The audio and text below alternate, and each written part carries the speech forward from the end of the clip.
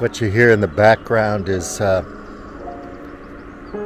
they're spraying for insects, I think, around the orchards. I don't know what it is. Hope it's canela.